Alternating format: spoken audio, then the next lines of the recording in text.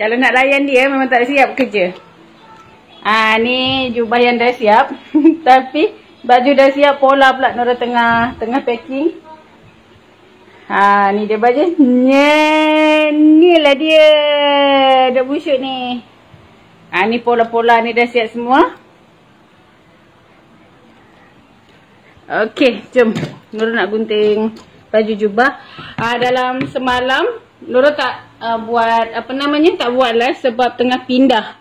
Okey, tengah pindah. So sekarang ni tak ada lagi lah bunyi si pin menjahit. Okey, belum kemas tu lagi. Baru angkat mesin apa semua jadi belum kemas sebab sekarang ni dah ada rumah jahit.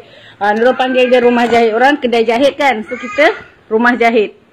Hmm, jadi tak dia dah buat kerja dekat sana. Alhamdulillah. Pindah kat mana dekat-dekat je. Tapi rumah tu memang khas lah. Untuk memang menjahit sahaja.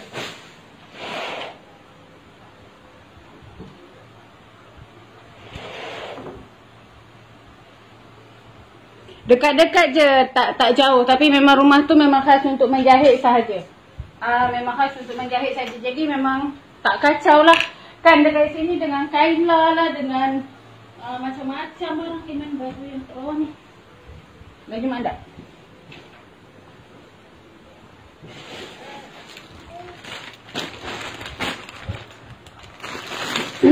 jadi Nurul uh, sewakan satu rumah.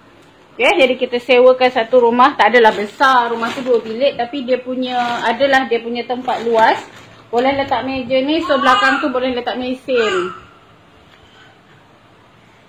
Macam mana Nurul nak tengok dia buat kerja. Nurul akan pergilah sana setiap hari. Ah, sebab Nora dah train Ipin. Kan? Uh, dah train dia. Saya dah dah boleh uh, dah tengok cara kerja dia apa semua. Uh, so, pekerja nanti Ipin ni pula yang akan kontrol. Okay. Uh, pekerja nanti Ipin pula yang akan kontrol. Tapi untuk menggunting apa semua tetap dekat sini. Rumah tu tak jauh. Dekat. rumah tu tak jauh dekat. Sebab kalau Nurul memang, uh, kalau rumah ni memang kalau boleh, pekerja tu tak ada dekat sini. Ha, dia macam tu. Okay, jadi hari-hari Nora boleh pergi ke sana, check dia punya kerja apa semua. Uh, tapi yang akan ulang alik ke rumah ni adalah seorang sahaja Ipin. Uh, hari ni uh, Lalama hantar lagi dua mesin. Okay, pekerja sampai lagi dua orang. So, sekarang ni tim Nora ada tiga orang. Uh, jadi, tim Nora ada lagi tiga orang. Jadi, setiap hari tu Nora memang boleh kontrol sebab memang tak jauh. Ah, uh, boleh tengok lagi. Ya, kurang selesa kan? Memang kurang selesa dan memang dia dia tak selesa, kita pun tak selesa. Jadi dia orang menjahit dia nak nak nak selesa kan? Ha, macam dia nak pasang nak nak sambil mendengar lagu ke apa semua sedangkan orang buat live. Jadi memang tak boleh. Ha, memang tak boleh. Ha, kalau bab-bab makan ke apa semua tu tak ada masalah.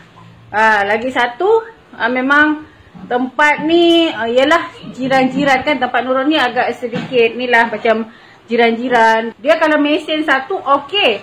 Kalau dah on tiga mesin tu macam mana? Ha kan dah on tiga mesin si Ipin dia seorang memang bergegar satu rumah. kalau dah on tiga-tiga mesin dia orang ni jenis menjahit laju. Uh, jadi sebelum apa-apa orang komplain baik kita uh, selamatkan dulu. So dekat sana Uh, memang selalunya tukang ni bila dia menjahit ni okey dia tak kira dia malam tu yang baru dia akan menjahit. Ha dia orang ni jenis yang bekerja malam. Ha dia orang ni jenis yang bekerja malam. Jadi kalau tempat Nurul ni Nurul pukul, pukul malam dah kemas dah. Ah kan. Jadi memang memang dia tak selesa. Tambah pula rumah ni Haris ni dia jenis uh, tak boleh bersepah. Ha Walaupun kami sendiri tak kemas tapi orang lain tu mesti tak selesa kan. Ha. Betul kalau gunting kain ada yang tengok, ya betul susah nak buat kerja. Ah dia orang pun segan kan. Kalau kita punya kalau dia punya kerja kita pantau kita, uh, terus tak ada dekat sebelah dia. Jadi kadang-kadang yang yang dia benda senang pun ha memang akan jadi kan jadi kekoklah dia nak buat kerja. Ha, dia jadi kekok nak buat kerja. Jadi Nurul pun tak boleh nak nak tengok, nak tunggu lama-lama kan. Sebab production nak kena cepat-cepat. Ha, jadi kenalah cari inisiatif. Jadi kita sewa dah satu rumah jadi senang. Sebab kalau kedai, susahlah juga kedai kan. Sebab kita bukan nak buka kedai sebab Nora memang ada production. Jadi kerja tu memang sentiasa ada. Ah ha, memang sentiasa ada. Kalau rumah tu dia boleh uh, masak, boleh apa semua kan. Ha, dia senang. Lagipun dah tambah lagi dua orang. Ha, tambah lagi dua orang. Jadi semua-semuanya Nora sediakan. Rumah kita bayar, api kita bayar. Ha, macam uh, semalam pergi cari tilam, cari bantal. Uh, semualah sebab kita nak dia fokus. Ha, dan Nurul ambil kerja memang ke, pekerja mahir. Yang Nurul ambil memang pekerja mahir. Hmm, tapi Nurul bagi tanggungjawab pada satu orang. Ha, Nurul bagi tanggungjawab pada satu orang. Jadi kalau banyak orang yang buat silap pun kita bagi satu orang yang tanggungjawab. Sebab dulu dah pernah dah.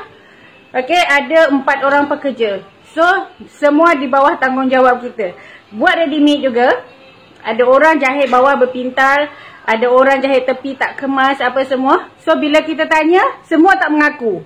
Ha, bila bab-bab reject ni, semua tak mengaku. Kita pun bukan boleh kontrol, bukan boleh tanda ni jahitan siapa ni, siapa kan. Tak apa kalau buat ready made ni, dia warna baju semua sama, tak mengaku. Ha, lepas tu, kita lah yang kena repair. Dah buang masa. So, dasarkan dari pengalaman tu lah. So, Nurul tak nak, tak nak lagi buat macam tu. Ha, saya cakap dengan Pin, ha, semua nanti bagi sengit ke, baju rosak ke, dia yang kena tanggungjawab. So, dia lah kena pandai-pandai kontrol dia punya tim nanti. Ha, dia macam tu.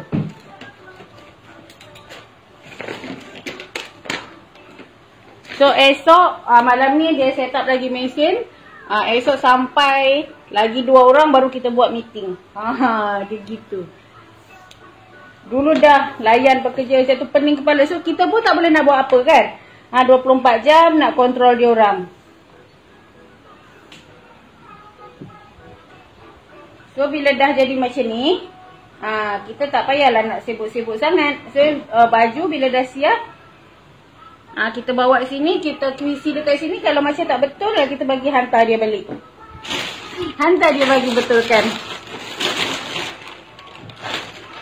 Uh, meja ni tetap dekat sini lah. Uh, meja ni tetap dekat sini. Tak ada Nurul nak bawa ke sana. Sana buat lain. Ah, uh, yang ni sebab Nurul nak buat pola ke apa semua senang. Okay.